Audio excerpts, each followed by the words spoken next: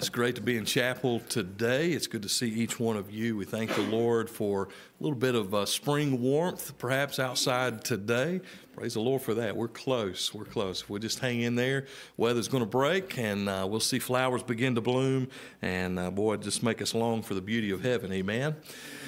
Well, today we'll save our chapel speaker introduction for uh, here in just a, a, few moments with Dr. Goodman, who will bring that in between the singing and the preaching. But uh, with that said, today we do have heavy hearts for some of our campus family. We understand um, that Jacob uh, Schaffner has had a death in his family. We pray for him. Uh, for Adrena Bader, we pray for her as well, death in her family. And then for Dr. Burton, his father in law uh, passed away as well. And so we pray uh, for those in our campus family who are experiencing uh, grief in this time. Of course, we don't grieve as those who have no hope. Our hope and confidence is in the Lord through the death and the resurrection of Jesus Christ. And so be mindful to pray for them. If you get a chance, uh, be sure to encourage each one of them as well. I know there are probably other unspoken requests today, and so the Lord knows those needs. Let's pray together, and then we'll worship the Lord. Heavenly Father, we do praise you and we thank you that you are the giver of life, and Lord, that you have provided for us eternal life through your Son our Savior. Lord, we pray that you would just comfort, Father, those among our family of faith who are experiencing loss in this season. May you wrap them in your loving arms and may they experience a peace that surpasseth all understanding. Father, fill the void that they're experiencing in this moment with the passing of their loved one, Lord, with your presence. And Lord, may you, by your power, just minister uh, to them. Uh, Father, we pray you bring healing to those who are sick today. Lord, we pray for salvation for those who are lost, that you would convict them by your Holy Spirit, bring them to faith in Christ, that they would believe and be born again before it's everlasting too late. Speak to us today. Bless the preaching of your word. Encourage your preacher. We pray in Jesus' name. All God's people said. Well, good morning, Clear Creek and guests. Would you stand with me as we sing a new hymn together?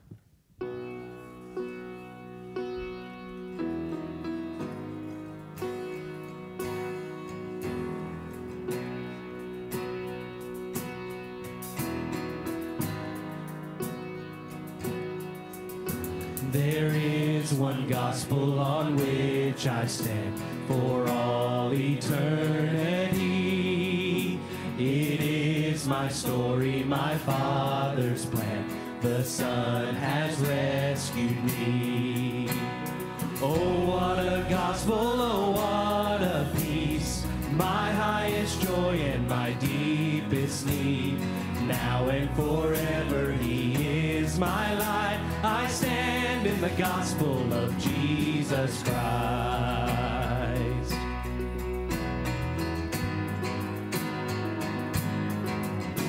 There is one gospel to which I cling, all else I count as loss. For there where justice and mercy meet, he saved me on the cross. No more I boast in what I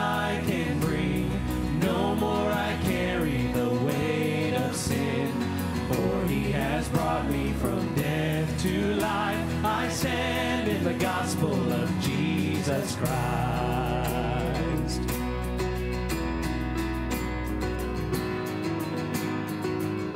There is one gospel where hope is found. The empty tomb still speaks, for death could not keep my Savior down. He lives and I am free. Now on my Savior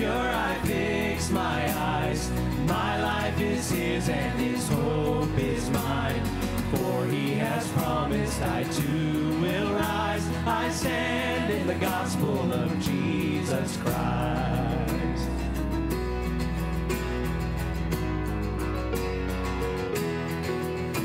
And in this gospel the church is one. We do not walk alone. We have His Spirit as we press on to lead us safely home.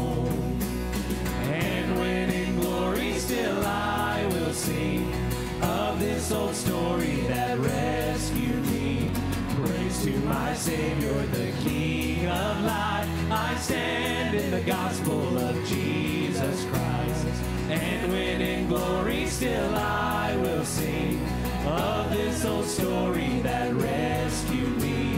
Praise to my Savior, the King of life. I stand in the gospel of Jesus Christ. Praise to my Savior, the King of life. I stand in the gospel of Jesus Christ. I stand in the gospel of Jesus Christ.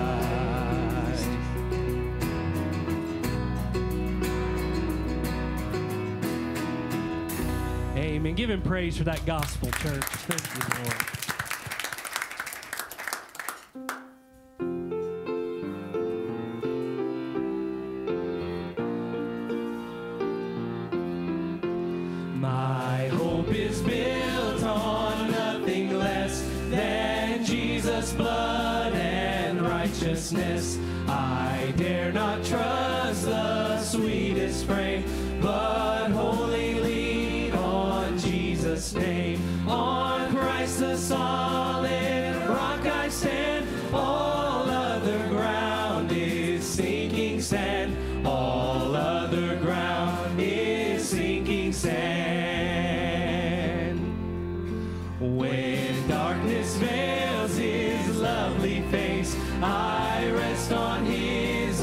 Unchanging grace.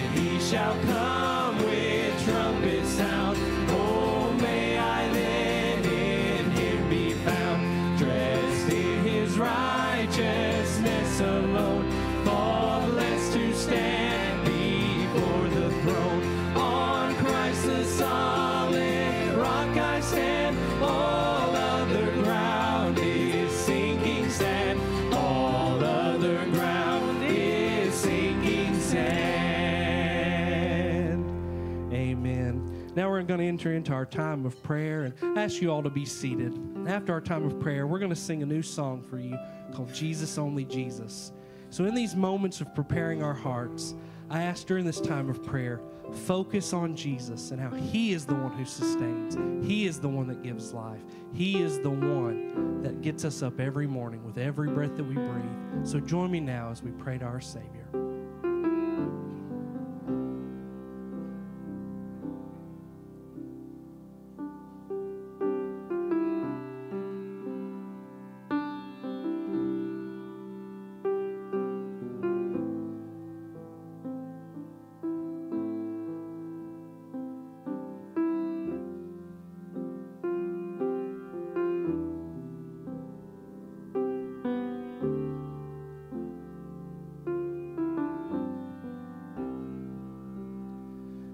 Gracious Heavenly Father, we come to you this morning. And Lord, as we just got done singing about how you are our solid rock, the firm foundation, and that your gospel is the only gospel, the gospel which brings life to us. Lord, once again, I pray we never just sing songs just to sing them, but we sing them to reflect on your gloriousness and, Lord, your wonder and your majesty. And God, we do it to worship you and honor you in spirit and truth. And so, Lord, as we continue in this time of worship today, help all of us be focused on Jesus. Let distractions fade from our minds. Let us forget about what day it is, what time it is, what's coming up later. Lord, help us right now in this moment join the saints that are around your throne in worshiping you, singing, Holy, Holy, Holy is Lord God Almighty. So bless us now as we continue in this time of worship. In Jesus' name we pray. Amen.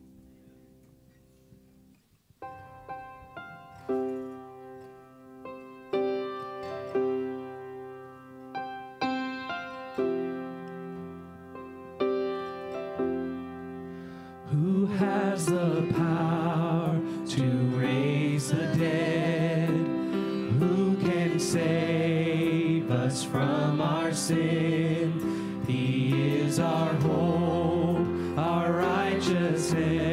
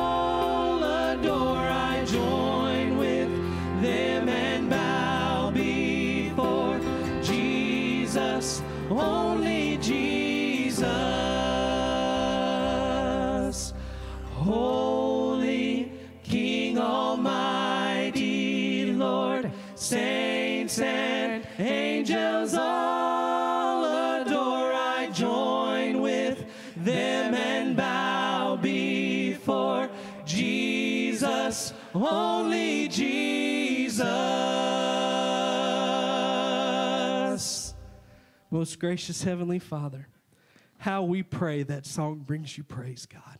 Thinking of the angels and saints adoring you, God. And we have the honor of being saved by your blood so that we can join with them singing. God, I thank you so much, Lord, for the opportunities that we have to glorify you through music and through the word. And Lord, now as Dr. Goodman comes to introduce Jon, Lord, I just pray you come upon him boldly. Lord, let Jon come as confidently as he leads us in worship and music to come lead through worship in your word. And we give you all the glory and honor and praise for it. In Jesus' name we pray. Amen.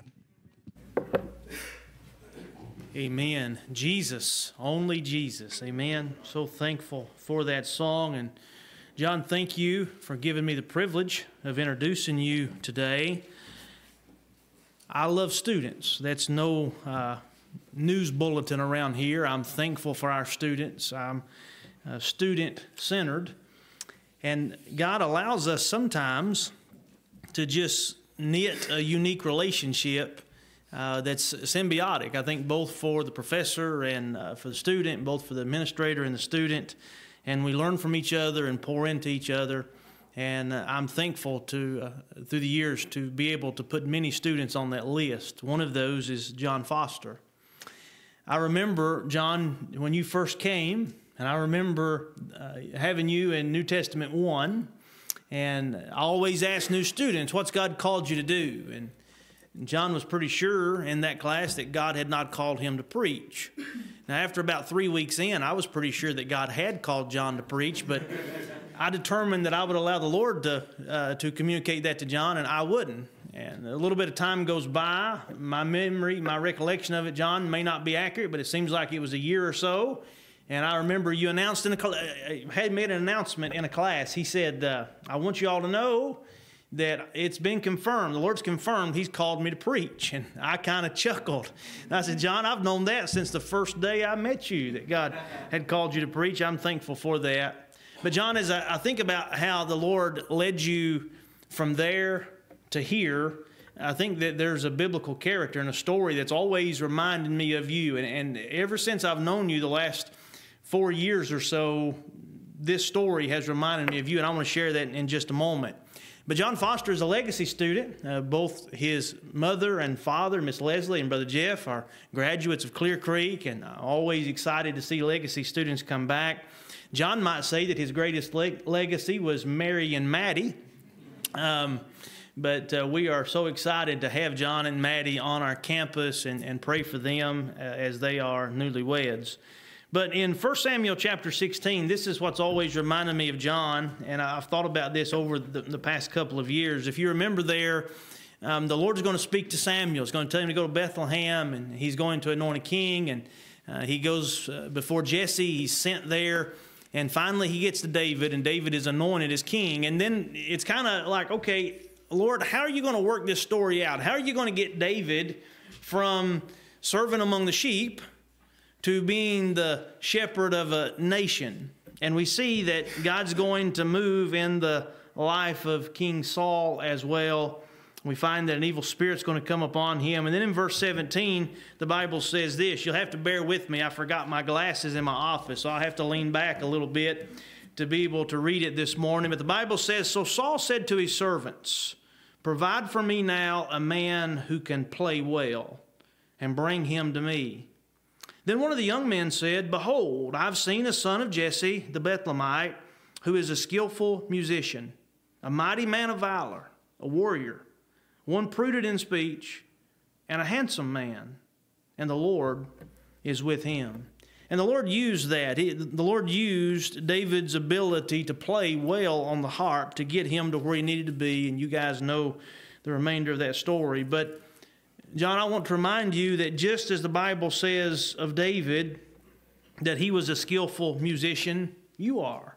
God's gifted you that way, and He's gifted you uniquely so He can use you specifically. I believe that the Lord has placed His gift upon you to be prudent in speech, and we're going to see that in just a moment. I'm excited to be fed um, by you as the Lord feeds us through you this morning His Word. But the Bible also tells us about David here that he was a mighty man of valor. And Jon, you've lived up to being a, a, man of valor, and you're continuing to grow in that. And my prayer is that you continue to walk so that one day after a while, when this life is over, that folks will say about you, and I pray that for me, that we've lived a life of valor for our Lord. And then the Bible says about David here that he was a warrior.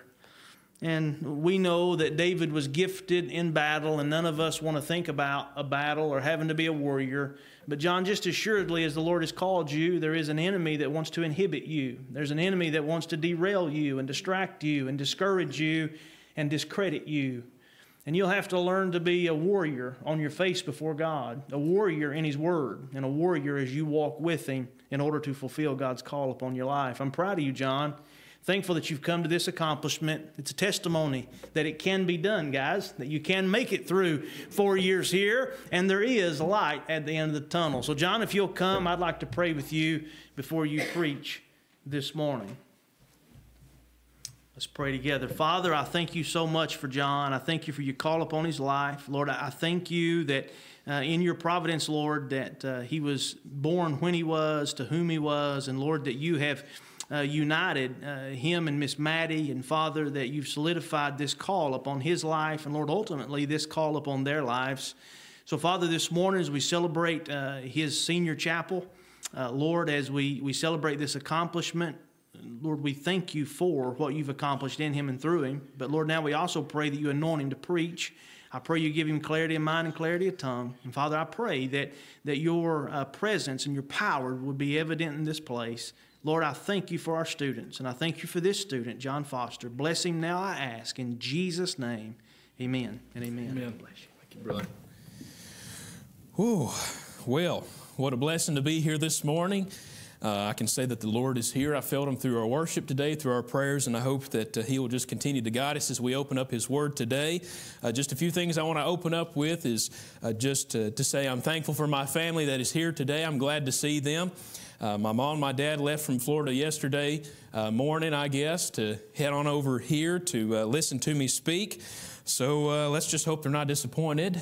But I'm just kidding. We're going to go eat a Cracker Barrel afterwards, so they won't be anyway, um, but thankful to have them here. Uh, Mom and Dad, thank you for just pouring into me and just praying for me and just dealing with me and loving on me. And the longer that I'm alive, the more I realize how good parents I do have. I'm very blessed.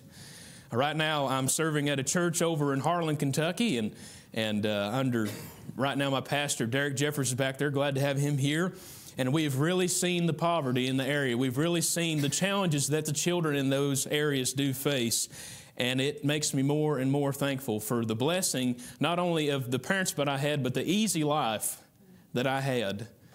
So thank you, Mom and Dad, for being here. I love you very much. And I'm thankful for my mama and papa. It's my dad's parents that are back here that they came to support me. Thank you for pouring into me. Uh, thank you for praying for me and encouraging me. And Papa, thank you for this suit that I'm wearing right now. Um, this suit is older than most of the people. Well, most of the students in here. It was it was made in the 70s, and you know I'm going to bring it back in style. So anyway, I just this is what I wanted to wear, and just in honor of him, and just thanking him for all that he's done. Um, I'm thankful for uh, my wife. I'm thankful to be wed to her almost, I guess, four months now. No longer than that, five. She's holding up five fingers, so five months. And uh, what a blessing just to. Uh, just to be with her and have her as my partner for life, as she's just been an encouragement and a blessing to me. And uh, she's really getting to know me a lot better now. Um, and she's still here, so that's a good sign. Uh, but I'm very thankful for you. I love you, Maddie. Thankful for you as well. I have a lot of friends here, and I'm thankful for your love and encouragement and your support and your prayers and just being the brother and sister in the Lord that I needed, uh, calling me out when I needed to be called out, and uh, just giving me some wisdom when I needed wisdom, and just having fun here on campus as a student. Uh, it's been a blessing, and thank you very much for your friendship. And I know that the friendships, not to be cliche here, but the friendships that we make here, I believe, will last for a whole lifetime. Uh, there are those who've gone on before me uh, as far as when they've graduated, and I still try to keep up connections with them, and I'm sure that I'll continue to, to speak to them. But I'm thankful for my friends. I'm thankful for uh, my who my friend Ryan Martin. He was he was my pastor. He was my mentor. He was my brother and my boss, and all kinds of other things. Uh, but he taught me a lot about prayer. Uh, he taught me a lot about patience, which is still a work in progress. And uh, he just encouraged me and just poured into me. And Ryan, I'm thankful for you. Um, I'm thankful for his encouragement to push me uh, out of my comfort zone to uh, submit to the call of God, which happened, I believe it was October 15th uh, of 2020, I believe, 2020. Yeah. It's October 15, 2020. About 2 o'clock in the morning, we were out there in the prayer chapel, me, Ryan, and Corey, and we were praying up a storm. And I got back to my room, and then that's when the Lord laid it on me that He had uh, His calling upon my life to preach His word to which I ran from for a little while, but uh, Ryan, eventually his sciatic nerve went out and somebody had to fill the pulpit, so it was kind of thrown to the wolves, you know. But uh, Ryan, I'm thankful for that. I'm glad you're doing better, uh, and I'm just thankful for, for you as well. Uh, there are many others that I could thank. I am thankful for my professors and uh, just you pouring into me and encouraging me and uh, just being there for me when I need you.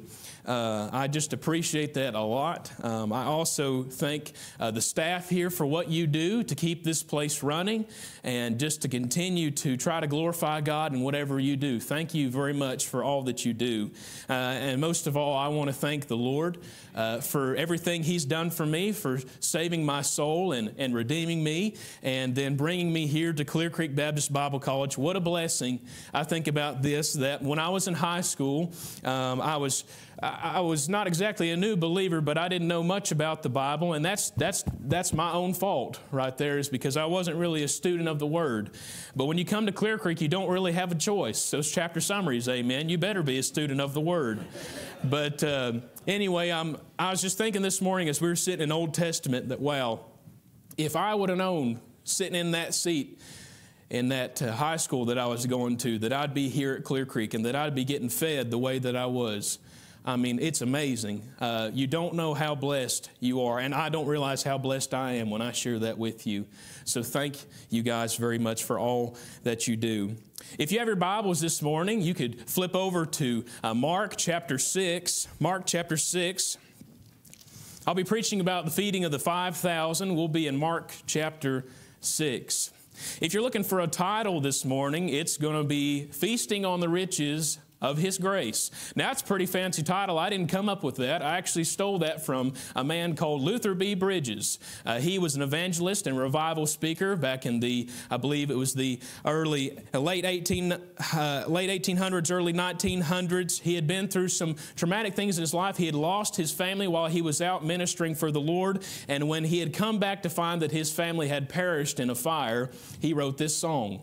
But in that song, one of the verses says, Feasting on the riches of His grace. And so I have a question for you this morning. Are you feasting on the riches of God's grace? If you're here, if you're a believer, if you're sitting here today and you have put your faith in Jesus Christ, I believe you're feasting on the riches of God's grace. I think it's important for us to know the difference between mercy and grace. Mercy is God not giving us what we deserve. We deserve hell, we deserve condemnation, we deserve to be thrown aside. But grace is God giving us what we don't deserve. And thank God for His grace that He gave us what we don't deserve. He gave His only Son, Jesus Christ. And I'm thankful for that, aren't you? Amen.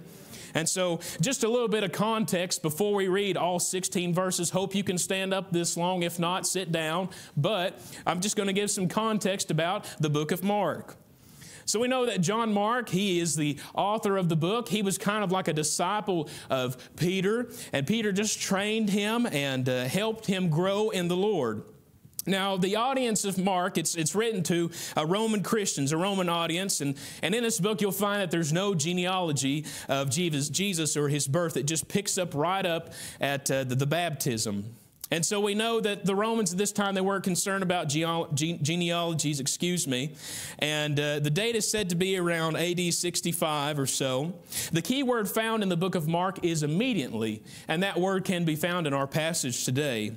The book of Mark has been said to be called an action gospel. I remember that from NT1 as we started out in Mark. I couldn't find my little red notebook that I took those notes in from way back when, uh, but I still remember that to this day.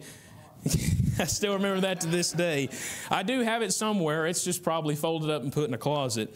But uh, it's, it's not much for uh, a lot of details. Now, there is details in this gospel, but it's not exactly like Matthew or Luke or John. It's more a topical story by story.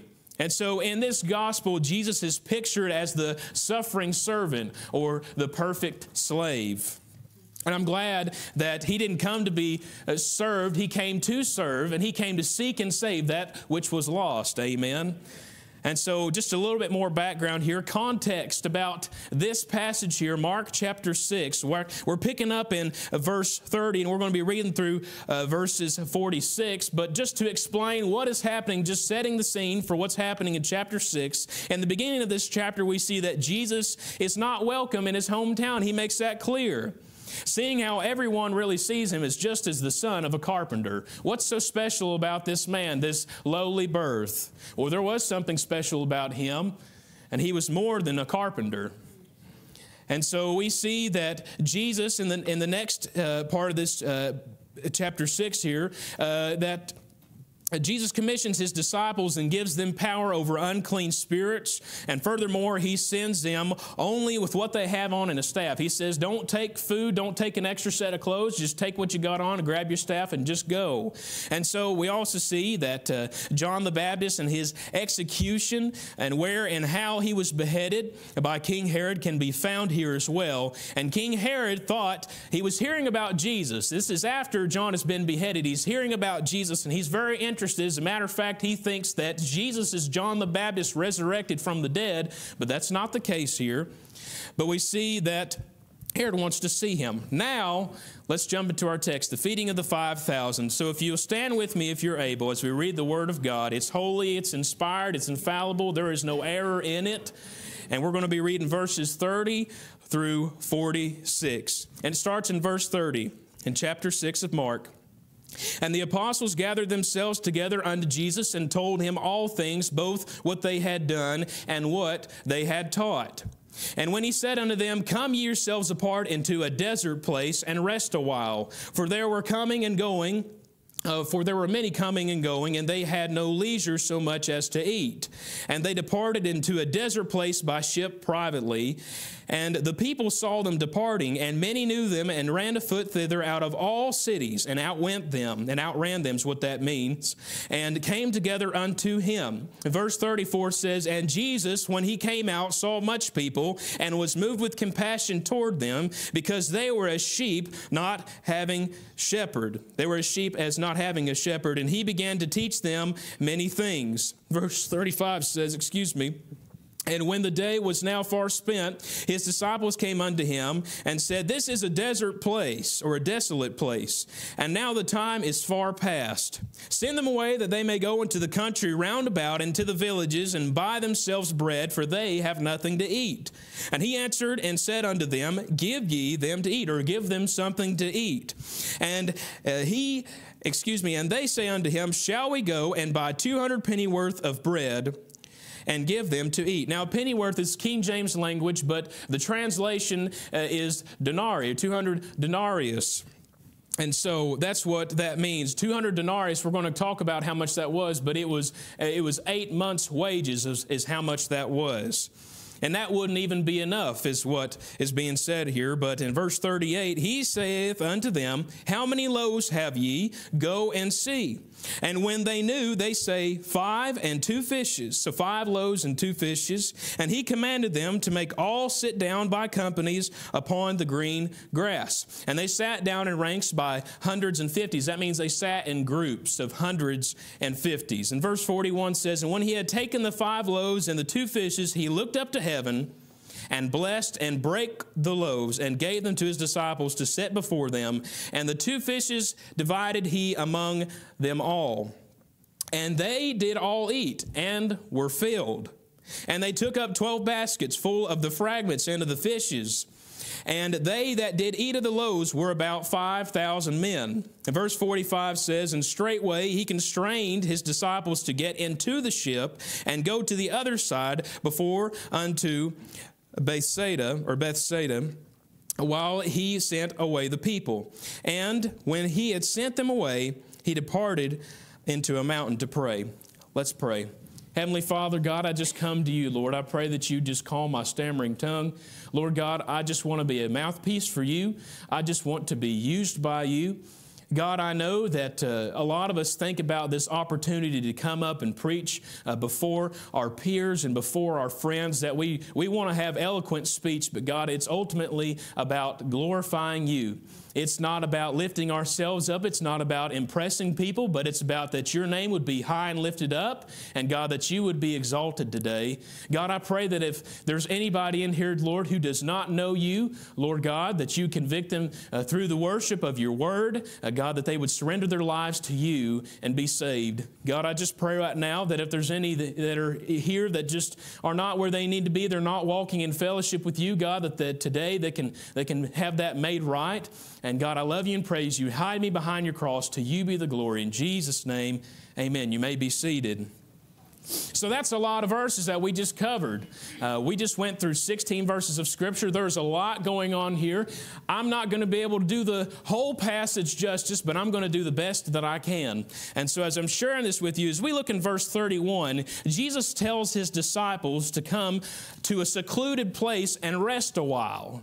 I'm paraphrasing what's happening in these verses, but we're going verse by verse here. He's telling them to come to a secluded place, a, a desert place or a desolate place, and rest a while. Maybe some time to pray. Maybe some time to just get away from the people and just take it easy. Just get some physical rest, spiritual rest. For there were lots of people, and they didn't even have time to eat. Now, as a Baptist, I know that I get quite hungry, and when I get hungry, I get what they call hangry. And so it is kind of hard to think about others, and it is hard to think about helping others when you want to help yourself. Just real quick, I remember as I was first getting started over at Atlantis Hill Baptist Church in Hancock County, Tennessee. I wasn't surrendered to preach yet, but I just started doing music out there, leading the, the music. And there was this old lady, her name was Dorothy. And she came up to me and it just seemed like every time I, I, got down from the pulpit after singing, she would want me to learn a, a, new song. And so she would set her binder in front of me and says, Can you read this? No, I cannot. I don't know how to read music. I'm learning how.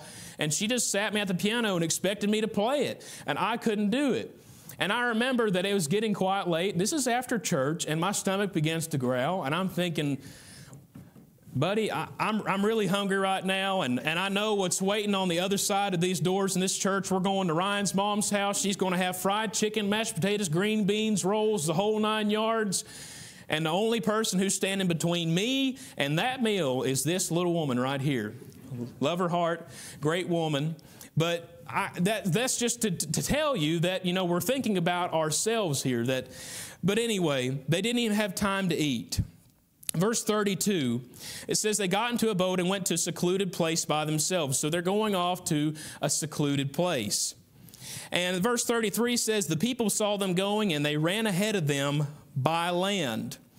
Now, just think about this that Jesus is wanting them to rest. He's wanting them to pray, just to, to take it easy, to kind of, you know, you guys have been quite busy. You've been doing the work. You've reported to me uh, what's been happening and the miracles that you've, that you've been doing that I commissioned you to do. Let's get some rest here. And the people are just swamping them. They're just coming all around them. You know, they're just, they're coming in by the dozens and by the hundreds. Sometimes ministry can cost you time to yourself.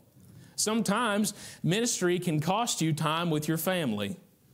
Now, we've heard this before that we don't need to sacrifice our families on the altar of ministry. Dr. Smith says that uh, in class. But sometimes the unexpected happens and we have to answer the call. Whether that might be to go pray with somebody in a hospital at 3 o'clock in the morning, whether that's to preach a funeral, or whether that's to fill in for somebody, sometimes Ministry costs something. But we have to do what God tells us to do. And so Jesus sees this, and he, he knew what was going to happen before any of this took place. He knew it when he was laying the foundation of the world, what was going to happen. That they wouldn't reach, first off, that secluded place to pray and take it easy. That they were about to be interrupted by more than 5,000 people who were hungry. And so sometimes ministry can cost you time. It can cost you sometimes time with the Lord, that personal time. But we're getting ready to see towards the end that after the miracle, Jesus still goes and spends time with his Father. Amen. That's important. We can get caught up in ministry, but we have to make sure that we're setting aside time to study God's Word, to pray to Him, and let Him pour into us. If we're not being poured into, then there's nothing good that we can pour out. Amen. We have to be poured into. And so, verse 34 by the time they reach the shore, all the people are waiting on them. But here's the thing instead of being angered, or forcing the crowds away. Jesus could have snapped his fingers. He wouldn't even have to snap. He could just thought in his head, man, I wish they would go away. And they could have, but he didn't. This was an opportunity to teach his disciples a lesson. This was an opportunity to show what his ministry was really about that he was going to be a servant. He was going to put the people before himself. And so instead of being angered or forcing the crowds away, Jesus felt compassion for them, it says. Something that's important is before Jesus feeds them physically, he feeds them spiritually. Priorities are straight here in the life of Jesus and in his ministry. Sometimes I know that I've been to some churches where they eat and then they have a singing or a preaching. And, you know, that's fine and dandy. Some people can fall asleep after they eat. You know, I know I have a one o'clock class after lunch, and if I eat those soup, beans, cornbread on that wonderful Thursday that we had last week, it's hard for me to stay awake. But priorities, Jesus needs to come first. We need to be feasting on His Word first off before we can be feasting on actual bread. We need to be feasting on the bread of life, amen. So Jesus taught before feeding them. So the word compassion here is found as a noun 11 times in the New Testament. But here it's an active verb and it occurs 12 times in the Gospels. And so it means the seed of the emotions. It's beyond ordinary feelings. It's a messianic compassion. And so thinking about this, that you know, when I looked up this word, I was talking to Jared about this. We kind of had a laugh that there's there's two different meanings. One, the the unbiblical term for um, compassion talks about a stirring within your stomach, you know, within the bowels. But that's not what's being said here. This is a messianic compassion. Jesus didn't need Tums or Alka Seltzer. So, anyway, that being said, we're talking about the seed of the emotions. In verse 35, we notice that it was quite late, and the disciples then came and said, This place is desolate and it's getting late. So, guess what? We've not eaten. We've been out here all day, and it's starting to get kind of dark. And I'm, you know, send them away. Send them away that we might rest. Verse 36 Then they say, Lord, send them away, that they may go into the surrounding area and villages and find them something to eat. But verse 37 in John 6 5, you'll find the feeding of the 5,000 in John chapter 6. But John 6 5 states that when Jesus says, You give them something to eat, he's talking to Philip. He's talking to his disciple Philip here. It said that uh, Philip was actually from that surrounding area, so if it was anybody who knew where to get something to eat, it was Philip. And so Jesus asks Philip, You give them something to eat. And Philip answers that not even 200 denarii, or eight months' wages is what that is, would not be enough to feed them. It is in Matthew's account that we learn there are children and women as well. It's not just 5,000 men. We're told in Matthew's account that there is women, children, and men. So I wouldn't say that all of them had wives and children, but a lot of them did. And so we can probably guesstimate a little bit more than 15,000 maybe around that number, something like that. I mean, if it was one wife, one kid, but it was definitely more than 5,000 people that were being fed here. And so, verse 38 says, And Jesus sent them out to see what could be found. He's getting his disciples to go out to look around, see what they can scrape up. And it was five loaves and two fishes. And so we see in verses 39 through 40 that Jesus, he then has his disciples to tell all the people to sit down. Now I was reading one commentary and said, you know, it probably took a lot of faith for, for his disciples to get all the people to sit down. Meanwhile, what they're looking at behind them is five loaves and two fish. I mean, you're about to feed more than 5,000 people off five loaves and two fish. It takes faith, but they had to be obedient, and they were. And so they had the people sit down in groups of 50s and hundreds. And so then in verse 41, and he, which is being Jesus, took the loaves and the fish, and he blessed it and broke it. Other translations and in other areas where this text can be found is that he gave thanks. And so he gave thanks for this small meal that seemed insignificant. The word gave thanks found in these accounts refer to praise or extol or bless, praising God. I don't know what Jesus' exact prayer is, but Jesus knew what the outcome would be. And so he kept giving out the fish and the loaves to set before the people and divided it up among all the people. Verse 42 says, And they all were satisfied and full. So look, they didn't get fragments, they didn't get crumbs, they didn't get just a little bit, but they had all they needed. And guess what? We're getting ready to find out that there was 12 baskets more taken up. So he's going above and beyond. He's not just supplying their needs, but he's looking ahead of time.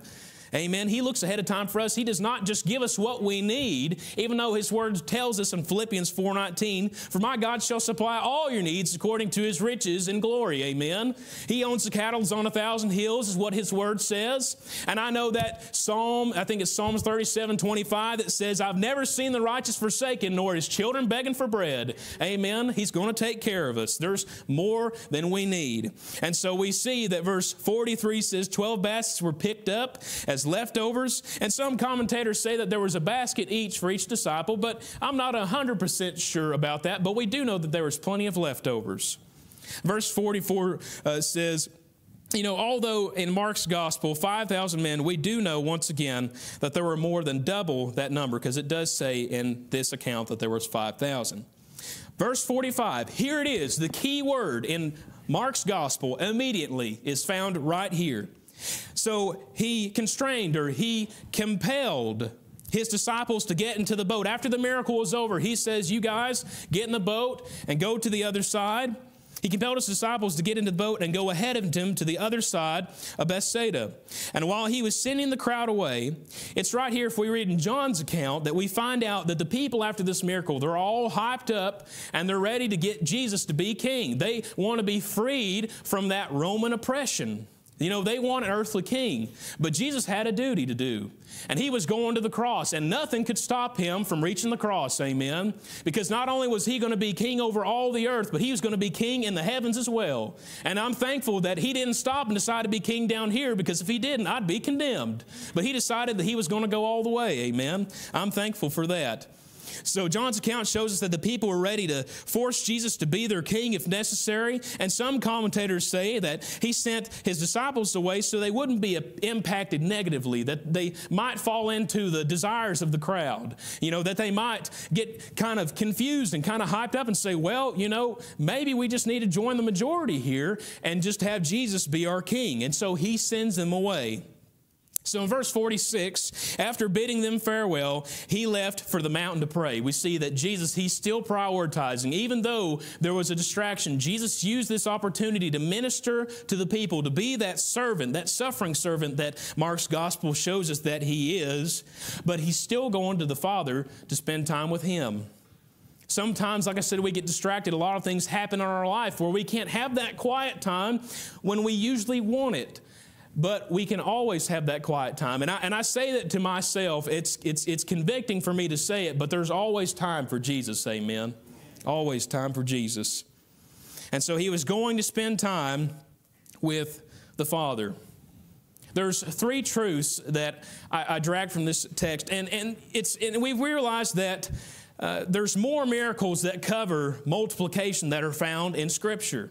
We know that in Mark chapter 8 that we see the feeding of the 4,000. And we know that in 2 Kings chapter 4, we see the multiplication of the oil. We know that there was a widow woman, and Elisha goes under her, and she is just in a real pickle. She's going to have her sons taken away, and she doesn't have any money. And so uh, God sends his word through the man of God and says, Hey, gather up all these pots in the surrounding area and get them together and take what you have and keep pouring it out. And eventually, all the pots they had were full, and she was able to pay off that debt.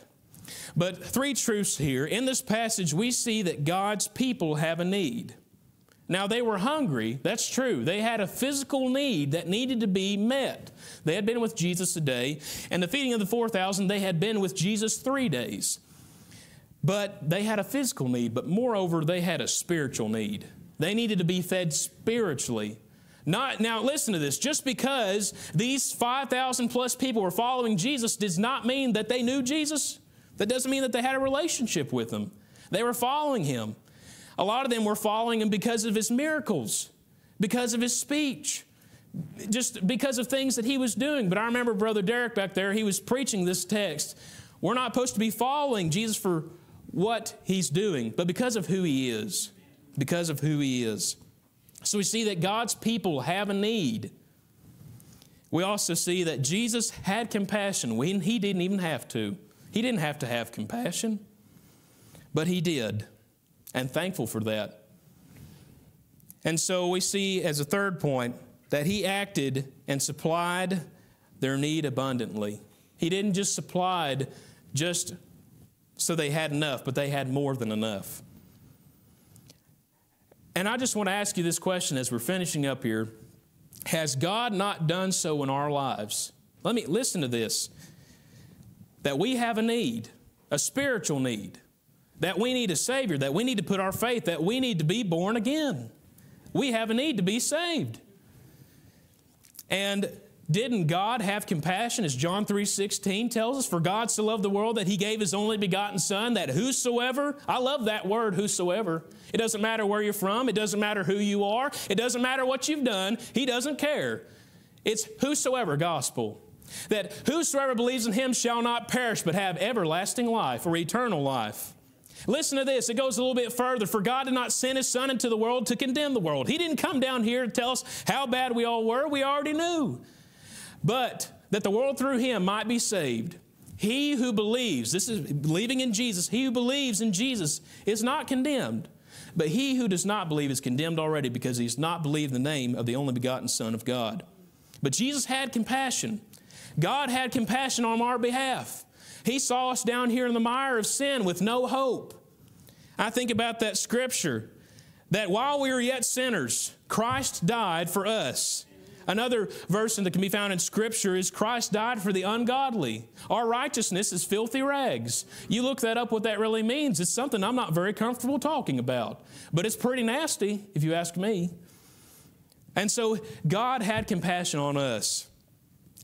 And not only did He supply our need. Not only did He give us purpose and life on this earth and a ministry and responsibility and friends and family, but He gave us something even better eternal life through Him. That our hope is not found here in this earth, but it's found in Jesus Christ. That's that song we sang on Christ, the solid rock I stand. All other ground is sinking sand. And so we see that we had a need of salvation. And I just want to ask you here there might be somebody here listening today, maybe online or maybe in this sanctuary, who's not given their lives to Jesus. I want to say that you're not going to have any hope. You're not going to have any purpose. You're not going to have any will to live without a Savior in your life. He's the one who gives you life and life eternal. He gives you purpose. We know that the Roman roads, you know, for all is sin and fall short of the glory of God. We've all messed up. We, hamartiology is the doctrine of sin. We study that in Christian theology. It's missing the mark. We couldn't do it. We messed it up. And we know that the wages of sin is death. It's death. Not just death earthly, but it's eternal death. It's going to hell. But listen here the gift, grace here, God's grace, Jesus Christ, the gift of grace is eternal life. And so we see that God's undeserving compassion. He gives it to us, He sends His Son, He supplies our need, and as for believers, He sends us to the other side. I, I just encourage you, if you don't know the Lord today, that you would put your trust in Him. Only trust Him, only trust Him, only trust Him now. And immediately, He will save you. He will save you. He will save you now. It's not next week, it's not tomorrow, and don't wait for tomorrow. But I know that I'm speaking to probably one of the most educated congregations I'll ever preach to.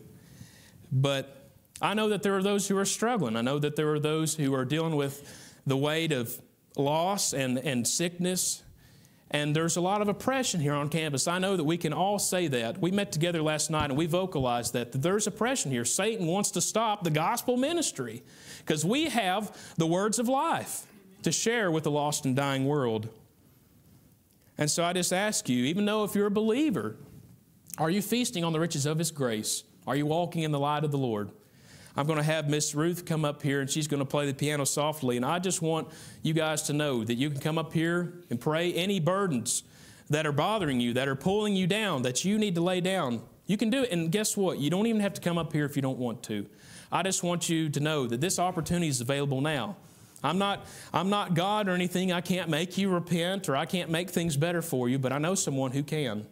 And so I ask that you please just join us in this time of invitation. I'm going to pray for us. Lord God, I just want to thank you for your word. I thank you that you are sufficient. God, I praise you for giving me the strength to share with your people your word.